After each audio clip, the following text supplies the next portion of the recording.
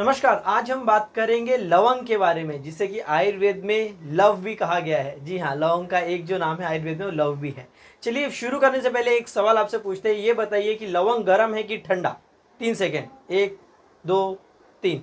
ठीक है। चलिए, ये याद रखिए कि आप में से किन लोगों ने लवंग को गर्म बोला है और किन लोगों ने लवंग को ठंडा बोला है। आगे आने वाले वीडियो में हम जानेंगे कि आयुर्वेद में लवंग को क्या कहा गया है।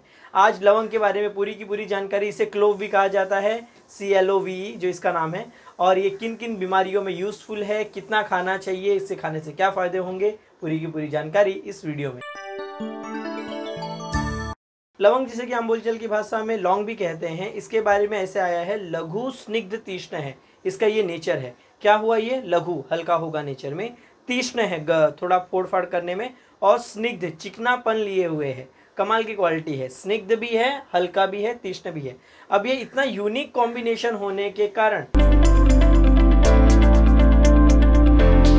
अरे हाँ अपना सवाल। लवंग गर्म है कि ठंडा? तो लवंग का जो नेचर है, वो ठंडा है। जी हाँ लवंग शीत है, ठंडा है नेचर में। आयुर्वेद में आप भाव प्रकाश संहिता पढ़ेंगे तो उसमें लवंग का नेचर शीत बोला गया है, ठंडा बोला गया है। बहुत सारे लोगों को लगता होगा कि लवंग खाने के बाद थोड़ा जीप पे वो लगता है, इसलिए वो गर्म होगा। वो जो जीप पे आपको वो लगता है, वो उसके तीक्ष्ण गुण के कारण लगता है, पर बाकी जो उसके गुण हैं, वो उसे ठंडा बनाते हैं। तो आज हमें पता चल गया, लवंग का जो नेचर है, या लौंग जो होती है, वो नेचर में ठंडी होती है, शीत होती है। इसका जो आयुर्वेद में रस बोला है, वो कटु प्रधान तिक्त बोला है। कटु मतलब ये तीखा होगा और थोड़ा सा कड़वा होगा। तो तीखा और कड़वा, ये दो टेस्ट होने के कारण किस पे काम करेगा? ये कफ और पित्त पे सबसे अच्छा काम करेगा। तीखा है तो कफ को कम करेगा और कड़वा है तो पित्त को कम करेगा। तो कफ पित्त से रिलेटेड जो कोई भी डिसऑर्डर होते हैं, आज के ज़माने में आप जो देखेंगे तो मैक्सिमम जो बीमारियाँ हैं, जो लाइफस्टाइल से जुड़ी हुई बीमारियाँ हैं, वो ज़्यादातर कफ पित्त डोमिनेंट ही बीमारियाँ हैं। वाट डोमिनेंट इतनी ज़्यादा बीमारी देखने नहीं मिलती। ज़्यादातर जो आजकल के रोग हैं, वो कफ पित्त वाले ज़्यादातर बीमारियाँ देखने मिलती है, जो लाइफस्टाइल रिलेटेड बीमारियाँ होती हैं, उनकी बात कर रहा हूँ। तो लवंग का प्रयोग आजकल की जो बीमारियाँ होती है, उसमें बहुत यूजफुल होगा। तीक्ष्ण गुण होने के कारण क्या होगा कि ये जहाँ पर भी कफ के कारण पेन होता है, कई लोगों को दांत वात में कृमि लग हो जाते हैं। कृमि होने के कारण पेन होता है। कई लोगों को मुँह में से बहुत लार आती रहती है, या मुँह में एकदम भारी भारीपन लगता है। जीप के ऊपर एक लेयर लगी हुई इस तरह का चीज़ें लगती है।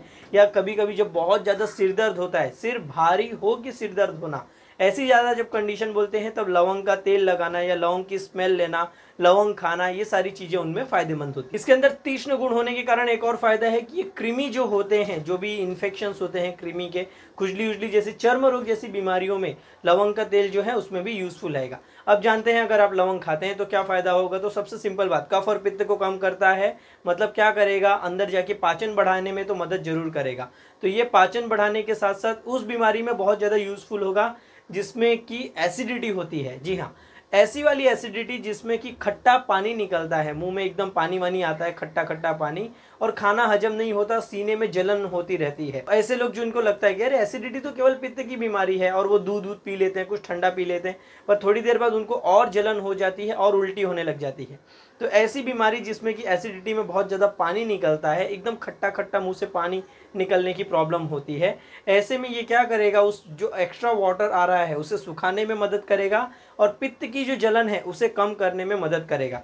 तो लघु स्निग्ध गुण होने के कारण एसिडिटी जैसी बीमारियों में ये बहुत यूजफुल रहेगा। तीक्ष्ण गुण होने के कारण ये सलाइवा के ऊपर बहुत अच्छा काम करता है, जो आपकी लार है, उसका सिक्रेशन बहुत अच्छे से बढ़ा देता है। इसलिए जिन लोगों को कफ के कारण जो ठीक से बोलते हैं ना, मुँह में लार नहीं बनती है, या जो बहुत ज़्यादा खाते हैं, खाना हजम नहीं होता और उसके कारण मुँह में लार नहीं बन रही, लार न बनने के कारण पाचन ठीक से नहीं हो रहा है तो ऐसे में लौंग खाना बहुत कमाल की दवा रहेगी। और एक बीमारी में यूजफुल होगी जिनको मुँह से बहुत ज़्यादा दुर्गंध आती है, बदबू आती है फॉल स्मेल आने की तकलीफ़ है। इस तरह की जो लोग प्रॉब्लम करते हैं कि नहीं, मुँह में हमेशा एकदम बात कर नहीं कर सकते, मुँह ढकना वकना पड़ता है, उसमें ये यूजफुल रहेगा। ये लीवर को एक्टिवेट करने का काम करती है। यकृत उत्तेजक, ऐसे करके शब्द बोला है। अब लीवर को एक्टिवेट करती है तो उन सभी बीमारियों में जिसमें लीवर का फ़ंक्शन डाउन हुआ रहता है या फैटी लीवर जैसी जो बीमारियाँ होती हैं, उन जैसी कंडीशंस में ये बहुत अच्छा यूज़फुल होगा। जो पेट में दर्द होता है, खाना न हजम होने के कारण अगर पेट में दर्द होता है तो ऐसी कंडीशन में बहुत बार जो लवंग का पानी होता है, वो पानी पीने के लिए दिया जाता है, जिससे कि वो पाचन अच्छे से होके जो पेन हो रहा है, वो पेन कम हो जाए। अरुचि, अग्निमान, आत्मान, छर्दी उदर शुले से बहुत सारे शब्द आए हैं। अरुचि मतलब जिनको खाने में मज़ा नहीं आता खाने में खाना सामने है, पर इंटरेस्ट नहीं आता, खा रहे हैं, पर उसके अंदर टेस्ट नहीं आ रहा है तो अग्निमान जिनकी भूख डाउन है, ऐसी सारी कंडीशन में आदमान जिनको खाना खाने के बाद बहुत ज़्यादा गैसेस होने लग जाती है, पेट एकदम फूलने लग जाता है, ऐसे पेट में दर्द होने की तकलीफ़ होती है उसमें, या एसिडिटी के कारण जिनको उल्टी जैसे होने लग जाती है, एकदम छर्दी जिसको आयुर्वेद में शब्द आया है कि भाई इतना ज़्यादा खाना हजम नहीं हुआ, इतना खट्टा खट्टा हो रहा है कि बार बार उल्टी जैसे लग रहा है, या आपने जो देखा होगा कि जो लोग ट्रैवल करते हैं बस में जैसे ही बैठा तो उल्टी उल्टी करने लग गए। ऐसे लोगों को लौंग दिया जाता है खाने को। क्यों? ज़्यादातर जो उल्टी होती है, वो पित्त जो है, वो पित्त और कफ के कारण होती है, जो उल्टी की प्रॉब्लम होती है। लवंग, पित्त, कफ दोनों को कम करता है, इसलिए गाँव के लोग जाने अनजाने उन्हें ना पता हो, फिर भी उल्टी हुई तो लौंग या इलायची दो में से एक चीज़ खाने के लिए दे ही देते तीक्ष्ण गुण होने के कारण ये हार्ट को भी एक्टिवेट करता है। हार्ट का जो ब्लड सर्कुलेशन है वो बढ़ा देता है पंपिंग बढ़ाने में भी ये मदद करता है।